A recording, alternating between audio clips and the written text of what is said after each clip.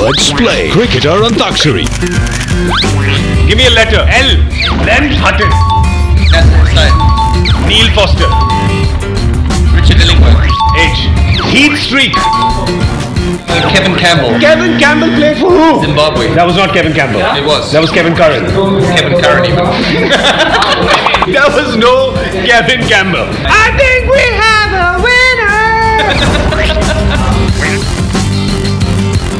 The Vivo VIP box is a great experience. So good, it's so close to the game. VivoCam, the perfect fan experience.